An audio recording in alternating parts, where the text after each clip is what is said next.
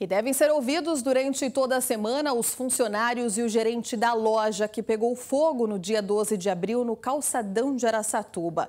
Olha, o incêndio que destruiu a Cris Park levou mais de três horas para ser combatido.